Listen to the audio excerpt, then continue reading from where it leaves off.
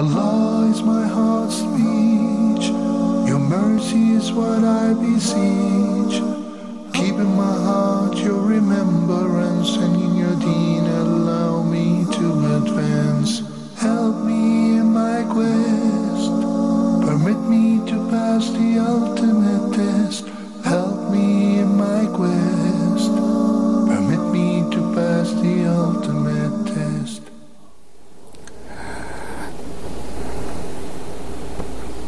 بسم الله الرحمن الرحيم الحمد لله رب العالمين والصلاة والسلام على المبعوث رحمة للعالمين نبينا محمد وعلى آله وصحبه أجمعين أما بعد dear brothers and sisters in Islam Assalamu alaikum wa rahmatullahi wa barakatuh and welcome to this new episode of Ask Huda broadcasting to you live from Jeddah, Saudi Arabia and you will find the numbers as usual inshallah displayed at the bottom of the screen so if you have a question go ahead and call and we will try to answer it inshallah. Uh, Doti has a question uh, sent by the email. He says, Is it true that if you don't do something which is wajib in salat, your salat is valid, but you have a sin for not doing that wajib? In a nutshell, no, this is not true. If a person does not do something that is wajib, meaning obligatory, then he has committed a sin if he had done this intentionally and his prayer is invalid. However, if he dropped this wajib unintentionally or due to forgetfulness or because he was ignorant, in this case he has to compensate this during salat by offering sujood al-sahu, the prostrations, the two prostrations of forgetfulness. Now having said that, it has to be clear to all Muslims that salat is composed of pillars that if you leave intentionally or unintentionally and could not make them up, then your prayer is invalid, regardless. Someone prays Asr, three rak'ahs, and remembers after few hours, his prayer is invalid, totally. He forgot the sajda and did not remember except after half an hour, his prayer is invalid. The second thing is mandatory acts. If a person abandons an obligatory act of salat or a, a, a mandatory act, such as, for example, saying Subhana Rabbi al Azim in ruku' or Subhana Rabbi al A'la in sujood, or the first tashahhud in a three or four rak'ah prayer, he stands up without doing the tashahhud. If he does this intentionally, then his prayer is invalid. If he does it out of forgetfulness or out of um, ignorance, for example. Uh, in this case, he has to compensate this with two prostrations of sahu, uh, depending on the situation, whether before salam or after salam. And if he forgets to do the sujood al-sahu, his prayer is valid. The third component is the sunnah, such as raising the hands when saying Allahu Akbar, or putting your right over the left on the chest while in a standing position. These are sunnah acts. If you do them, you're rewarded, and if you skip them altogether, intentionally, your prayer is valid, and there's no sin on you. Madhar says, according to Islam, is it okay to read horoscopes without believing in them? And the answer is no, this is totally prohibited. When someone goes or by himself reads material that predicts his future, that tells him this would happen to you in a week time, in a month time, in a year time, he is one of two. Either he has strong belief that this is true, and that person or this uh, magazine or the fortune teller is saying the truth and he knows the future. So whoever believes in that, he's a kafir. He has nullified his Islam. Because no one knows the future except Allah Azza wa Jal. No one knows al-ghayb except Allah the Almighty. The second person is a person who knows that this is a lie. And he's just there for the fun of it. So he goes to a fortune teller, to a soothsayer, to a priest, to uh, uh, anyone who claims to predict your future by reading your palm, by reading your coffee, uh, uh, Turkish coffee after you finish it, and they can tell by reading the marks and the drawings on the sand, by flipping uh, uh, oysters or things of the seashells, and uh, predicting your future through it. You're just doing it for the fun of it. Well, the punishment for that fun is that Allah would not accept the prayers of 40 days, though you don't believe. But if you believe, you're a kafir. So this is not something to be taken lightly. It is totally prohibited to even come close to that uh, uh, venue. Katie says, is that true that Ibn Uthaymeen, after he uh, heard the evidence on vaginal discharges from a doctor, he changed his opinion saying that these discharges do not nullify ablution? Now, what Katie asking about is the continuous uh, uh, wetness that a lot of women face though this is not answering the call of nature this is not some it's it's like a, a discharge but it's not due to illness. It's a discharge that is healthy. So Shaykh ibn Uthaymeen may Allah have mercy on his soul says that this is pure. It is not najis and it is like sweating and the majority of women have it. In the early times, he used to say that this is pure, but a woman has to renew her wudu. So whenever the time comes for a prayer and the adhan is called, she has to make wudu. And this is the same ruling of al-ma'thur, a person who has continuous um, uh, urination, uh, uh, uh passing of wind that never stops. But the most authentic opinion, and Allah Azza wa knows best, that making wudu when the adhan is called doesn't change a thing. Meaning that it's still continuous, and even if you make wudu, it's going to break.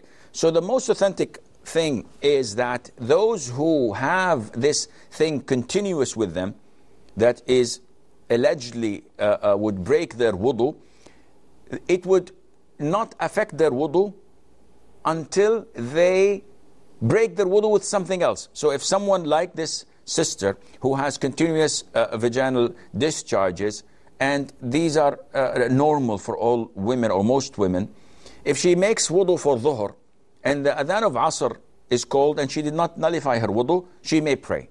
There's no problem in that. But if she passes wind, if she breaks her wudu with something else, in this case, she has to make wudu. But with the uh, um, the thing that she has ongoing 24 7, this doesn't affect her wudu, and Allah Azza wa knows best. Mujib from Bahrain. Mujib from Bahrain. Hello. Salam alaikum. Oh, Mujiba. Okay, sorry. Alaikum salam Yes, Mujiba. Uh, please ask me a question. Yes, what's your question? Uh, my question is regarding, so like, um, every month we have like fasting, like on 13th and 14th and 15th. No? Okay. So also we have like Monday and Thursday. So in one month, both of them I can fast, no problem. Okay. Any more questions? Okay. The second, the second question is about tahajjud or qiyam al-layl. Okay. Okay, so here in Bahrain, 355 it is Fajr prayer. So if I finish my praying at 310, it is the time, it is okay for me? Uh, what time is Fajr prayer?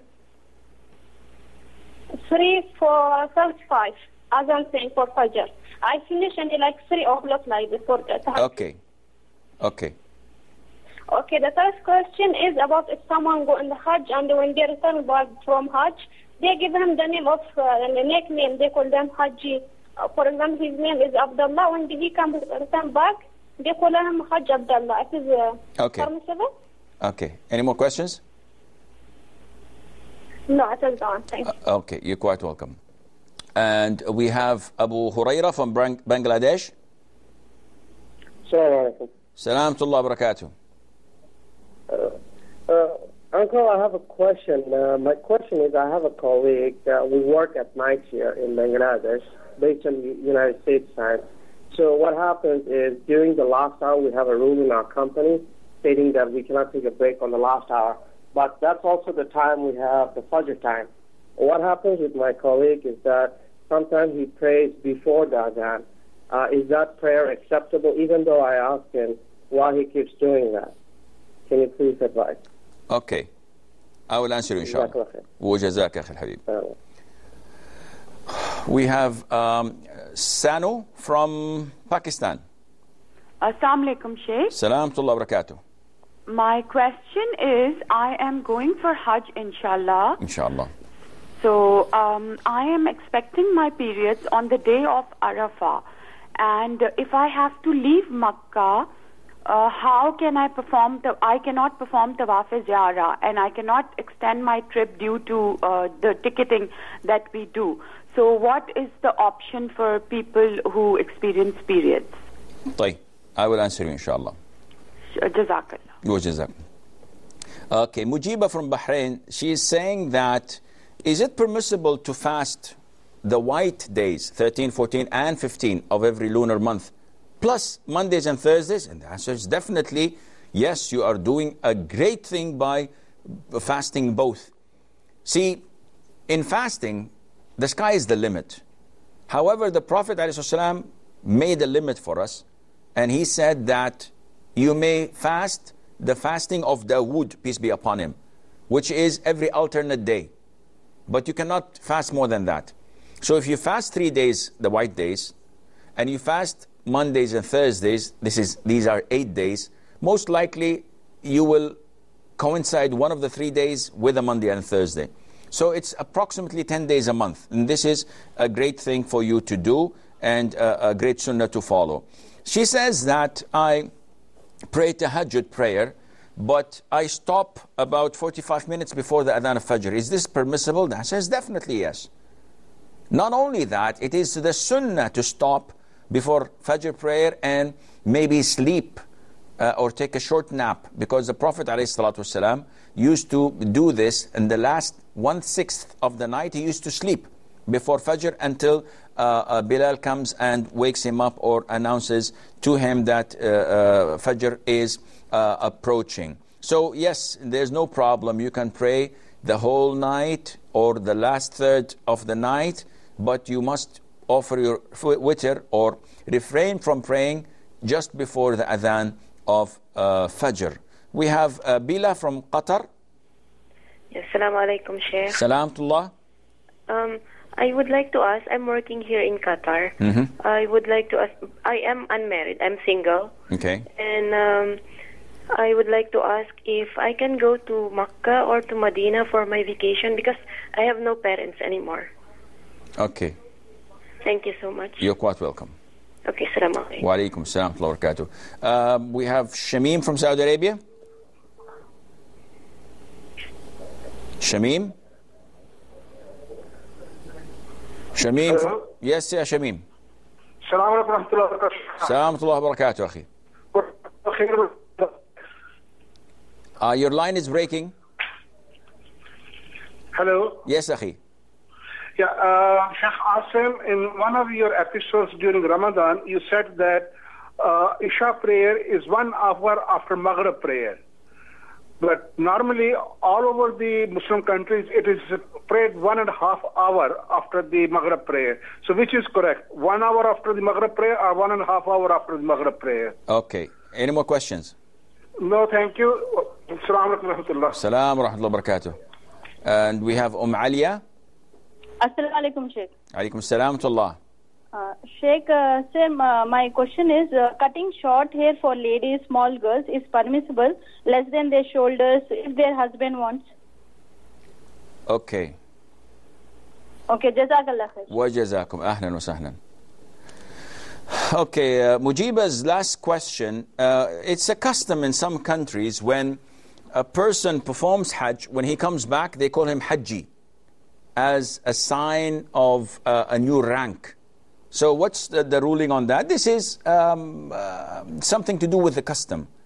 So, I would not go to the extent to say that this is haram or a bid'ah or etc., but it is not recommended. It's like boasting about it. No one calls me because I pray five times a day uh, uh, in the masjid. No one says to me, uh, a musalli, Assim. No one says to me, muzakki, when I pay my zakat. No one say, sa'im. So why is it Hajj when I go for that journey for five days or seven days and I come back, they call me Hajji? This is sh- uh, sort of showing off, but it, it's as a custom. And it's a sign of respect to the people because usually in these countries, those you would not call a person who is in his 20s Hajji, though he, he had uh, performed his Hajj. Usually, this is a title is given to someone who's like in uh, his 50s or in his 60s as a sign of respect. I would not uh, um, uh, say it's prohibited, but I would not recommend it as well. Abu Huraira from Bangladesh, he says that they are working the graveyard shift, which is usually from 11 o'clock until 7 o'clock. And the company policy does not allow them to take the break in the last hour. So his friend prays Fajr before the Adhan. Is, and he tells him that this is wrong. So which one is right? No, definitely praying before the Adhan is not permissible because Allah Azza wa Jal prescribed the prayer at specific timing, timings. Allah says, "Inna salata kanat ala al-mu'minina kitaban mawquta." That prayer has been prescribed at a specific time. So uh, it is not permissible at all for such a person to pray before the uh, uh, time of the prayer. So you have from the time of the adhan and the last time for Fajr is when the sun starts to rise. The minute it rises, khalas, it's over the time. So if there is sufficient time for you to pray within this gap, then you should do that, but you definitely must not pray before the adhan, and you definitely must not pray after the sun rises. You have to pray on time, whether your job allows you or not. You have to uh, uh, improvise, you have to find a solution, prolong your working hours, have a deal with your manager, uh, do something, but you have to pray on time. Abu Muhammad from Bahrain. Assalamu alaikum, Sheikh. Salamatullah barakatuh. How are you, Sheikh? Everything's okay? Yeah, alhamdulillah, Rabbil Alamin.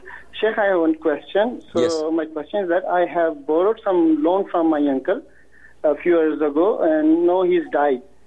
So I want to know: to, do I have to give it back this money to his widow or his son, or can I make it charity on behalf of his or something like that? Okay, any more That my question? question. Sorry, Okay. uh, only one question, sir. Okay, my friend, I will answer you, inshallah. Thank, thank you very much. You're Thank quite you. welcome, Uh, Sano from Pakistan, uh, she says that she's planning for Hajj, inshallah, and according to her calculations, her menses will be on the day of Arafah.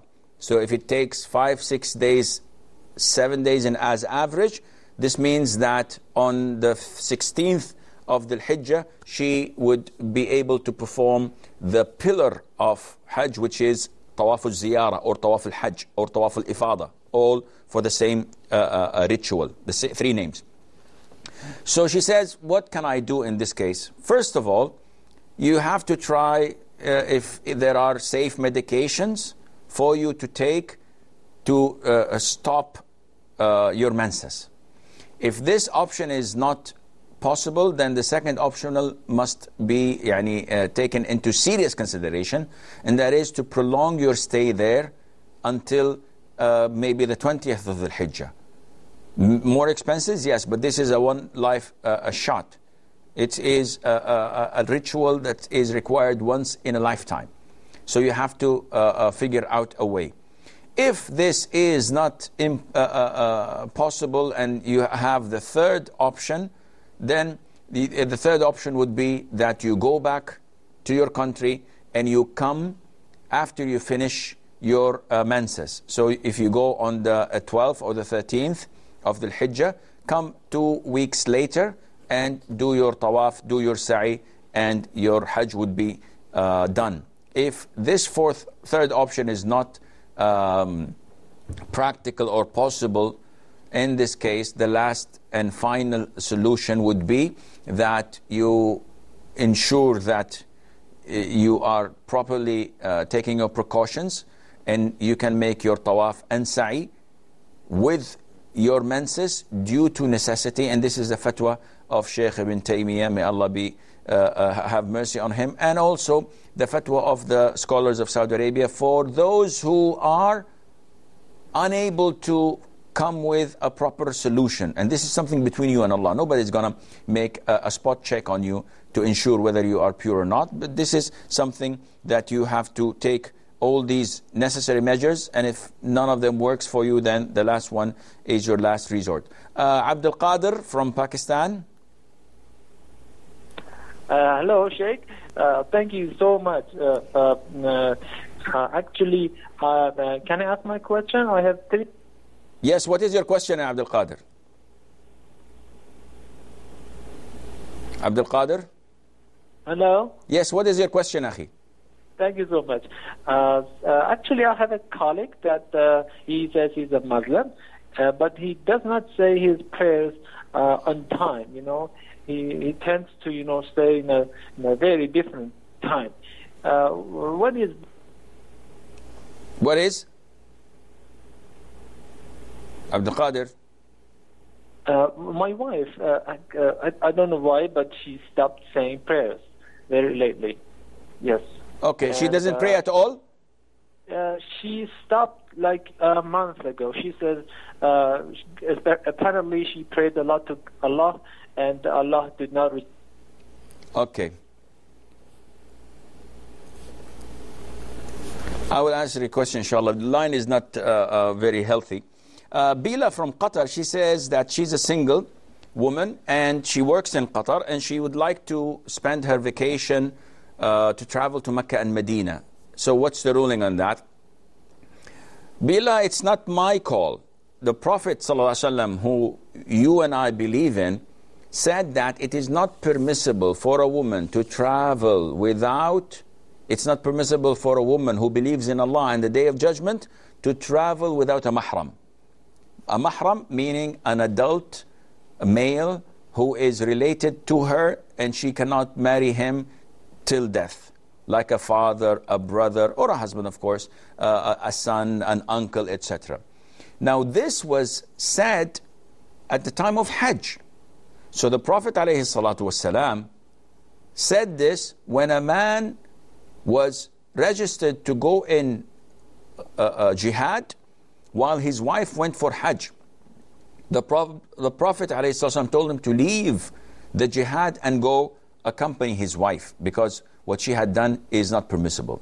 So if it is not permissible to travel for Hajj, which is a pillar of Islam, for a woman who doesn't have a mahram, in this case, it is not permissible for a woman to travel for anything else, whether it's work, tourism, education, trading, etc., anything else.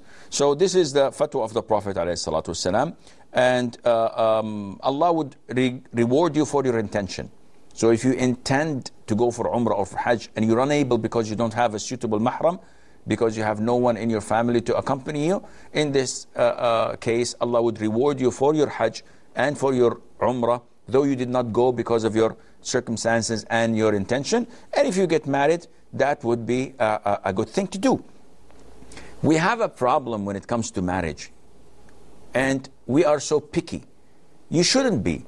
Yani for a, a, a, boy who is suffering and he's 18 years of age and he wants to get married and his family is not allowing him to, you can get married. If you are between uh, stuck between a rock and a hard place, and you say, either I get married or I fall into haram. In this case, yeah, go and get married. He said, No one would uh, uh, marry me. He said, Yeah, you will find someone who's 50 years old would marry you. And that would take the sin out of your mind. But you want someone to be like Miss Universe. And this is, uh, you, you have a problem here. So, uh, my, my advice to those who are not married let your uh, uh, bar a little bit down, let your standard a little bit way down, and accept something that would save you from hellfire accept something that is not fully to your specs, but at least it takes sin away from you uh, with the grace of Allah. Shamim says that um, most countries pray Isha an hour and a half after Maghrib. Is this correct? The answer is no. This is definitely not correct. If you come from Medina heading to uh, Jeddah by car, and you come at the time of Maghrib, and you can see, well, because you're going in the direction of the west, Medina, to uh, uh, at some junction, though it's up north, but if you come in some certain areas, you would be headed towards the sea, and this is the west. You can see the sun set, setting. Once it sets, you can see the redness glowing in the direction of the west, in uh, the horizon. And this is the, uh, uh, the redness that announces the time of Maghrib. Once this redness disappears, then this becomes pitch black, and this is the time of Isha. I've seen this myself. It took about 50 minutes or 55 minutes after sunset. So definitely, the time of Isha being quoted as one hour and a half is wrong. However, if you're unable to see the disappearance of the redness in the horizon, in this case, you cannot assume and jump to conclusions and pray Isha. Until you're certain that the time of Isha is due, and in cities, we cannot do this unless we have the adhan being called, and Allah knows best. Abdul Aziz from Qatar. Assalamu alaikum, Sheikh. Alaikum salam, rahmatullah. Uh, I have two questions. I'm, mm, Abdul Aziz? Yeah, Abdul Aziz. We have a problem with the telephone lines. Abdul Aziz? yes, sir. Yes, sir. Hello, can you hear my, my voice? I can hear you now. What's your first question? Yeah, first question is if my sister don't If your sister does not. with her, and my second question is No, I didn't get your first question, yeah, Abdul Aziz. I didn't get your first question. If your sister does not do what?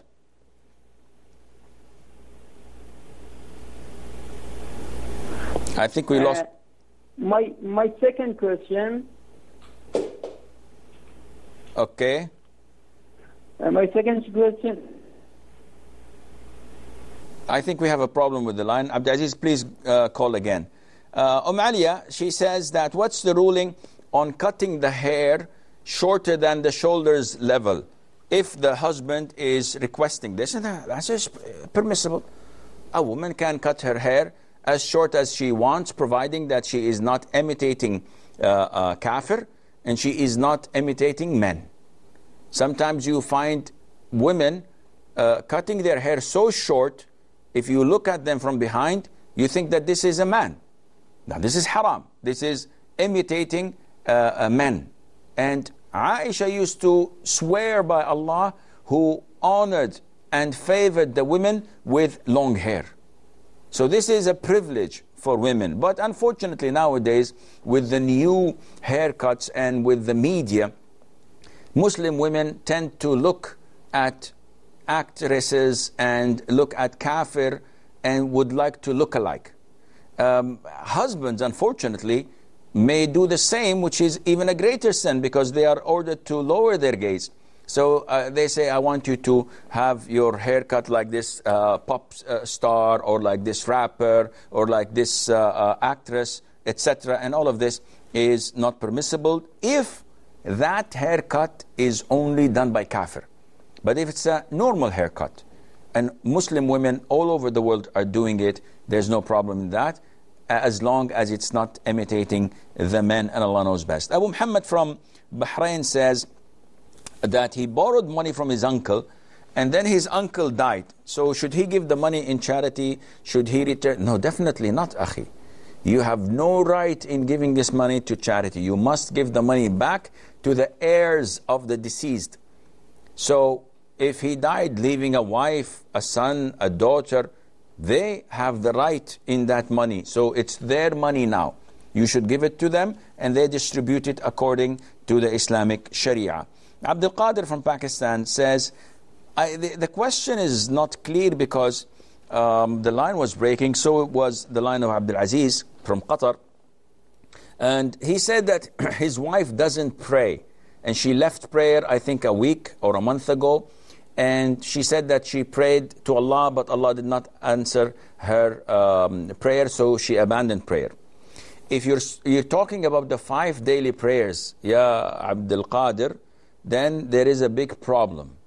Because the Prophet said, alayhi salatu wasalam, uh, uh, he said that the pledge between us, the Muslims, and them, the disbelievers, is prayer. Whoever abandons prayer, he has committed an act of kufr.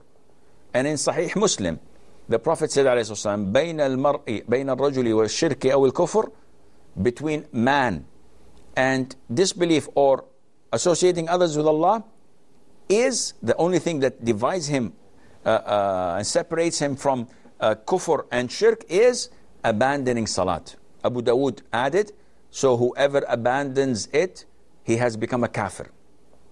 فقط kafar.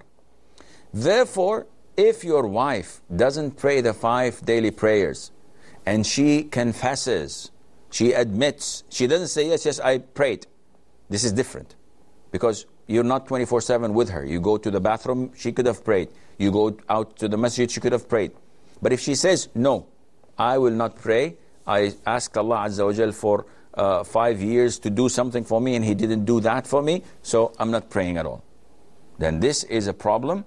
You should uh, uh, advise her, you should be strict with her, and if she insists, you should divorce her because she's not a Muslim anymore and you cannot remain married to such a person.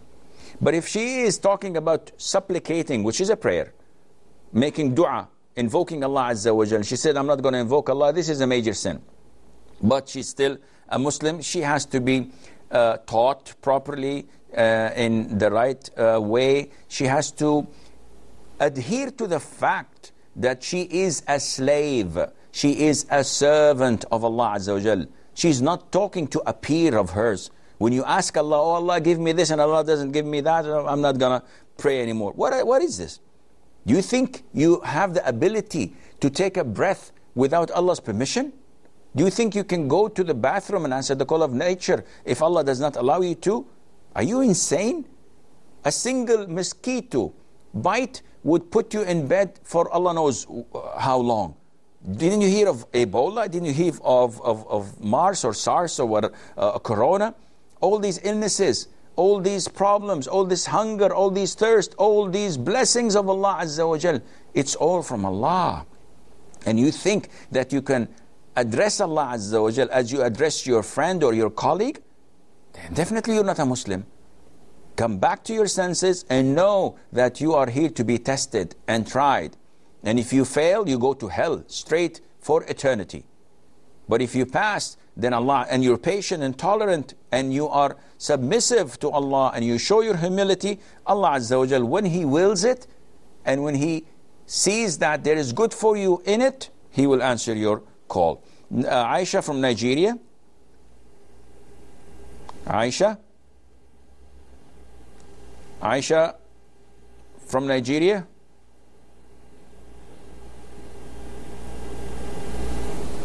I don't know what's happening, but uh, so there seems to be a problem with the phone calls.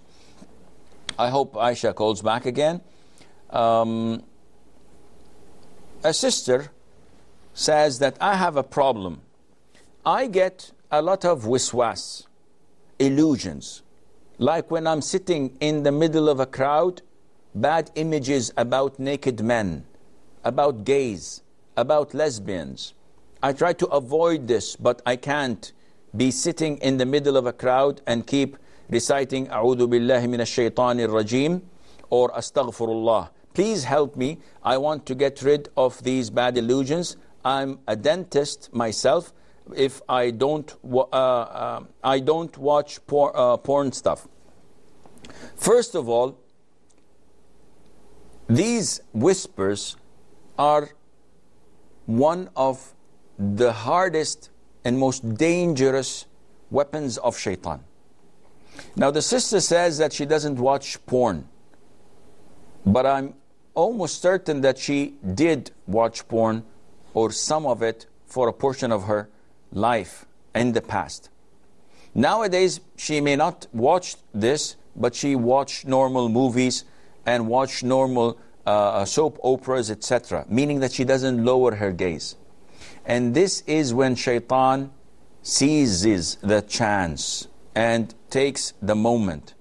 Because shaitan or the devil or Satan takes his time until you are ready to explore, until you're ready to fall. And once you're ready to fall, he puts his full, full arson and he bombards you with doubts and desires and illusions. If you lower your gaze, these illusions would start to disappear, but not immediately. Because shaitan works on a long term. So once he sees that your iman is increasing, he increases his doubts. He increases his whispers and wiswas. He adds more spices to the meal so that he ensures that eventually you would fall in, your, in, in, in the trap. He never approaches you directly. He takes his time. So it seems to me that either you're fantasizing a lot, and this is why you're opening the, the back door for shaitan to come and to infest your mind. Or because you are trying to get closer to Allah Azza wa Jal, He is trying His level best to pull you down and not for you to progress in your quest to Allah Azza wa. So keep on fighting, keep on saying Astaghfirullah al-Azim, try to get married if you're not married, and cut all your intake of movies and soap operas uh, and the likes, and inshallah, you'll be in good hands. Uh, Nadia from Saudi. Hello, Assalamu alaikum. Salatullah. Uh, Sheikh, I have two questions. Yes. Uh, my first question, uh, actually, I asked in the mail, I didn't receive the answer, so I want to repeat. Um, I, I asked actually in Ramadan about the fidya for my mother-in-law who is not fasting, and you told me that even after Ramadan we can uh, uh, call uh, 30 people and give them the meal. So actually, I wanted to ask, for example, if we don't find uh, 30 poor people together in one time, can we repeat the same 15? For example, if we have 15 people or 10 people, can we repeat uh, for them three days or two days meal uh, to complete 30 person? And uh, this meal should be only one time or twice, uh, like because in a Ramadan we have sahur and iftar both. okay. So we have to give only one meal to them or two meals. And second Uh, question. did you get? yes, second Uh, okay. question. And my second question is: uh, Is uh, the father's uncle, uh, who is his mother's brother, he is mahram for a girl? Okay. Thank you very much. And we have Aisha from Nigeria. Assalamu alaikum. Salamtullah. Um, I have two questions, Sheikh. Yes. One is um, regarding, um, I know it's advisable for a Muslim when you're sitting idle, you should actually do zikr or reading of the Quran. So I want to know whether if there is a reward for watching like this Huda TV, Islamic channels, instead of watching other channels. Is it also idle by watching the Islamic channels? You have to be reading your Quran constantly and zikr, or is allowed to watch your Islamic channels?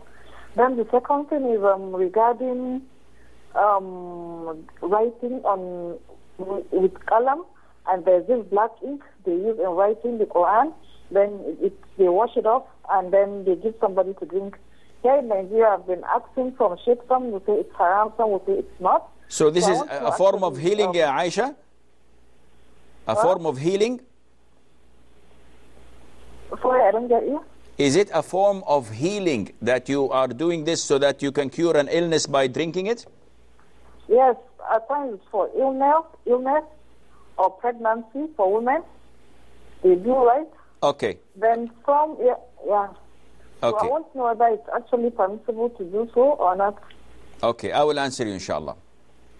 Thank you very much. You're quite welcome. Nadia from Saudi Arabia, she says that uh, her mother-in-law did not fast and uh, due to old age or to illness, and she uh, wants to give the expiation, which is feeding a poor person for every day missed. So is it two meals or one meal? The answer is one meal. So if you cook a lot of food and you inve- invite 30 people to eat from it, this does the job. Now she says that it's difficult to find 30 people, so can we invite 10 people and feed them uh, three different meals? The answer is yes, this is permissible, inshallah, because for every day you have to feed one poor person. You can feed one poor person for 30 days, and this would do the job for the whole month of Ramadan. Allah knows best. Abdul Qadir from Qatar. Salam alaikum, Sheikh. Samtullah. Yeah, uh, I want to my, uh, ask my second question, uh, and it is uh, one of my children becomes sick and I can't uh, buy drug, uh, and uh, but at the same time uh, I see the Kingdom Salman went to the beach travel with. This is nothing. This is nothing to do with the question, yeah, Abdul Qadir. Forget Yeah. this. Okay, Nadia uh, says that how many meals? One meal. Fatur or suhoor? No. You just give one single meal and this is sufficient, inshallah. The second question um, is that the uncle of the father, is he a mahram to a woman? The answer is yes. Your father's paternal uncle or maternal uncle is your mahram. This is understood, inshallah. And the, the, the, the brother of your grandfather, who is the uncle of your uh, father, the same thing. But your husband's uncle is not related to you. And he's not a mahram as so many Muslims think. So this is uh, uh, clear, inshallah. Aisha from Nigeria, she says that her first question I wasn't able to understand, but it seems that she's asking if I watch Islamic um, TV uh, uh, uh, channels where they recite the Quran and they teach Hadith and Sunnah, and there are social programs that they bring Muslims back to their religion. Am I being rewarded? And the answer is definitely yes. You are rewarded because whatever goodness you listen to from the Quran and from the Sunnah, this is the word of Allah Azza wa Jal and the teachings of, the Prophet wasalam. So you are definitely doing dhikr and Allah would reward you for that. And her second question was about writing the Quran and then washing the writing with water and drinking it. Is this permissible? Some scholars say that this is permissible in the case of ruqyah. So if a person has a, a, a spell, a magical spell, a sorcerer uh, casted a spell on him, or he has an evil eye or um, jinn possession, etc., they say that writing the uh, verses of the Quran of ruqyah with saffron and then washing it and drinking it, or washing the body with it, or taking uh, uh, lots uh, leaves, uh, seven of them, and, and, and grinding them, and then doing the same and drinking it. This has uh, uh, a lot of good in it, uh, inshallah, as a means of curing. As for pregnancies, this is not an illness, so I can not say uh, that it would work, and Allah Azza knows best. Rayan from Saudi. Assalamu alaikum. Salam wa rahmatullah. Uh, sir, I have two questions. Yes, Uh, sir. First question is uh, Is it permissible to say Ya Rasulullah like we say Ya Allah? Doing for what? Doing that for what, ya Rayan? Like usually we say Ya, ya Rasulullah. Before Ya Rasulullah, we say Ya, Ya Rasulullah like we say Ya, ya Allah. No, why do you say Ya Rasulullah? Are you addressing the Prophet? You're asking him for something? Hello? Yes, Rayan. Rayan, Hello? Yes, yes, yes, yes. are you asking the Prophet something, Akhi? Yes, yes, yes. What are you asking him? Hello? Okay, I think Ray- Rayan, if you call us again, I, I would appreciate that.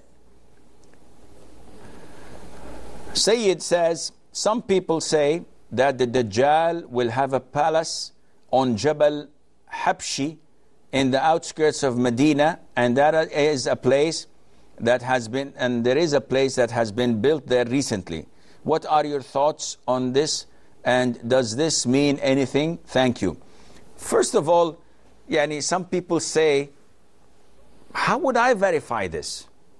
And they said that the Dajjal would have a house in Jabal Habshi. Now, where did they get this from? Is it from an authentic hadith, first of all? Second of all, some people say This is not part of our Islamic beliefs or etiquettes to depend on uh, uh, rumors or hearsay and uh, whatever people um, delegate and, and, and, and, and mention in their gatherings. On the contrary, the Prophet ﷺ forbade this and he said, كَفَى بِالْمَرْءِ إِثْمًا أَن يُحَدِّثَ بِكُلِّ مَا سَمِعَ It is sufficient burden and sin that a person would speak with everything that he hears. So many people call and say, this person did this, that person did that, all things that are not related to reality. Akhi, did you see this yourself? No, but I heard people say. I googled uh, uh, Wikipedia and they said that this is confirmed. Subhanallah. It is one of the signs of the approaching of the day of judgment when a liar is believed and the man saying the truth is being accused of lying. This is a, an authentic hadith where the Prophet told us about it. So the Prophet said alayhi rajuli. And this roughly translates to that it is one of the most hated and abhorred uh, um, uh, ways of speaking to say or to begin what you want to say by saying, I heard people say, they claim that this and this. So I could come and begin anything, any topic, by relieving myself from responsibility. And I say to uh, brother uh, Sayyid, uh, brother Sayyid, and I hear people say that you're gay, akhi. And I don't know, astaghfirullah. What, what are your thoughts about this? Is, this? is this acceptable? Now you're basing your allegation upon what people say, upon a hadith that the Dajjal would take a palace in Jabal Habshi or Hibshi or whatever at the outskirts of Medina. Do you know where that place is? No. Have you seen it? No. Is it confirmed that the Prophet said this? I don't know. They say. Subhanallah. Have you uh, uh, uh, seen that the place does not take any other palaces around it? So how can you build any uh, argument uh, on this? Therefore, we should not pay any attention to such uh, um, yani rumors or cheap talk that doesn't add any value. We believe that Dajjal is coming and he would be, be prevented from entering uh, Mecca and Medina. So the palace you're talking about being built there at Jabal Habshi, do you think that the people are yani, uh, furnishing uh, his accommodation in anticipation of his uh, uh coming? This is not uh, uh, logical. Fatima from Gambia. Fatima from Gambia. Yeah, assalamu alaikum. Salam rahmatullah. Um, we wanted to ask, can you first Saturday? I, I cannot understand your question, Fatima. Mute your TV, please, and talk to me from the phone. Yeah, okay. Asking um, if you can. Okay. Yes, Fatima. What is your question? If you can fast Shawwal on Saturday. Okay. I will answer inshallah. Okay. Um, okay, Rayan's question wasn't clear, but he was saying or asking about saying Ya Rasulullah.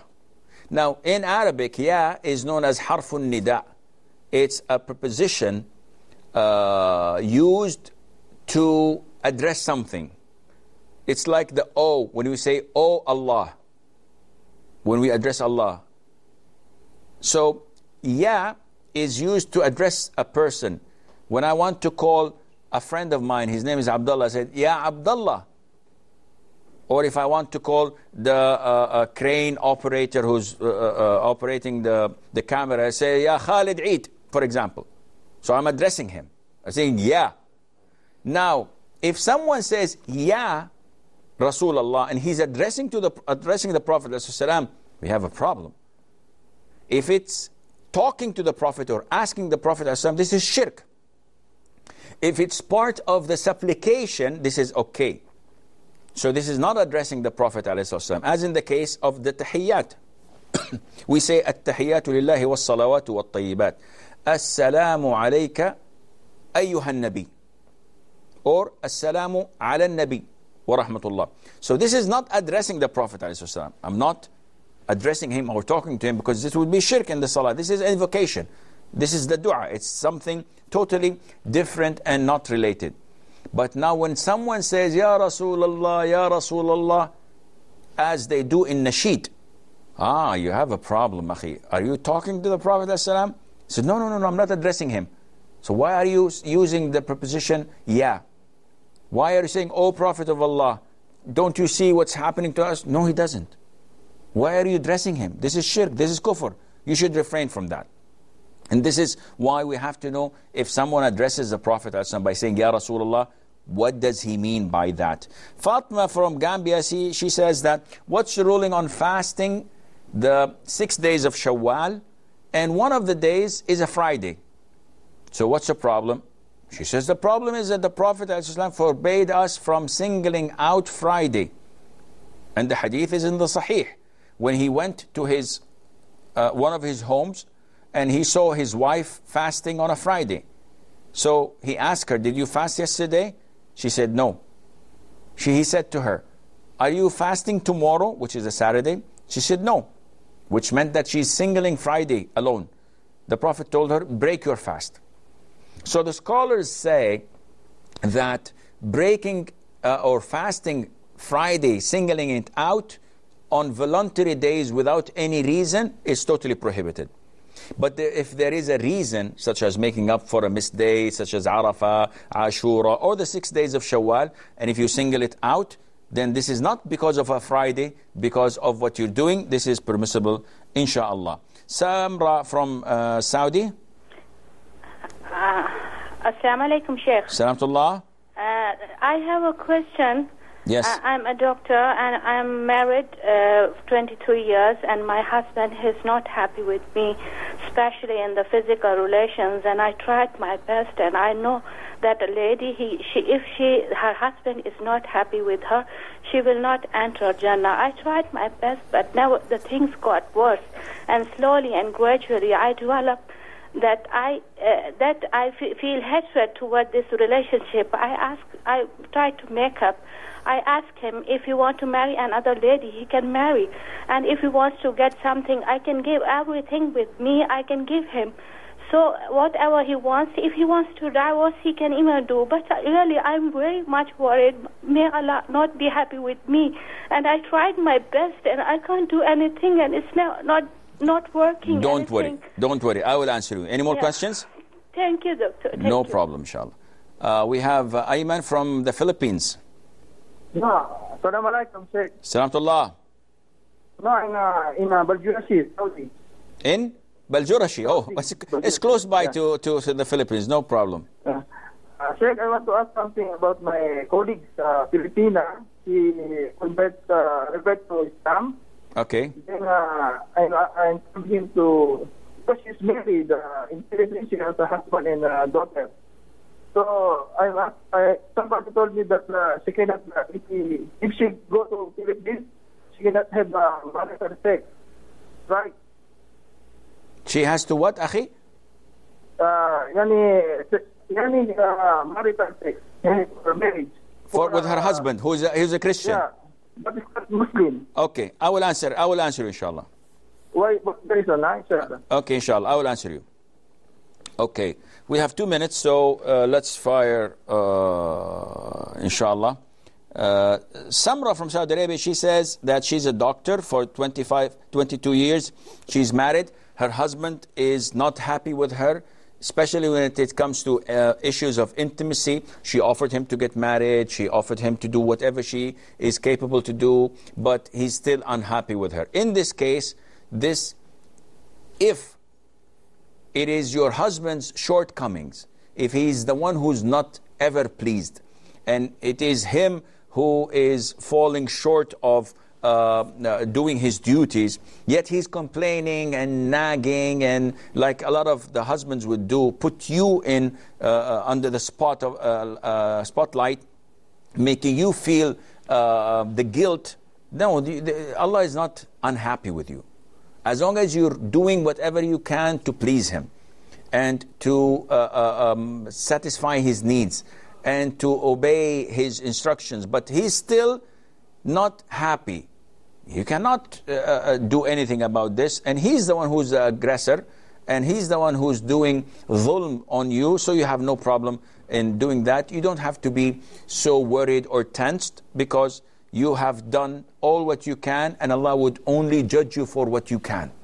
So don't have any problems with that. If you can get someone to counsel both of you, so you tell him, okay, let's get someone uh, uh, from outside, a third person who would judge and listens to uh, would listen to both of us and can pinpoint the problem says no akhi you as a husband you're wrong. Or you as a wife you're wrong. Then that would be much better. Ayman from Baljurashi she says that a woman alhamdulillah reverted to Islam. She has a husband back in the Philippines and a daughter. So what's the ruling on her uh, going back and living with her husband? This is totally prohibited. As long as he's a kafir he's a disbeliever he's a Christian once she accepts Islam, the marriage contract is dissolved. They are not related anymore. He's not related to her. He is a non-mahram. She cannot live with him. She cannot meet with him. She cannot stay with him. If he accepts Islam, alhamdulillah, they can go back together without any problem. But as she is a Muslim, she must not have any kind of communication with him. Now, if she's here, she could call him, send him SMSs, uh, invite him to Islam. If he is uh, uh, reciprocating, alhamdulillah. If he's not, if he's defiant, in this case, she should do the legal uh, uh, ways and means to stop this. And the final question is from uh, Umar. He says, What are the limitations between a girl and her fiance? How should they behave to one another? A fiance is not your mahram. He is not your husband. The marriage contract has not been signed. So he's a total stranger to you. You should not communicate, you should not SMS, chat, uh, uh, share uh, books, WhatsApp, it's, uh, app, etc. No. He's a total stranger. Once the marriage contract is written, then he is your husband. The sky is the limit. This is all the time we have until we meet next week, same time. I leave you fi amanillah. Wassalamu alaikum wa rahmatullahi wa barakatuh. Allah is my heart's speech. Your mercy is what I beseech. Keep in my heart your remembrance and in your deed allow me to advance. Help me in my quest. Permit me to pass the ultimate.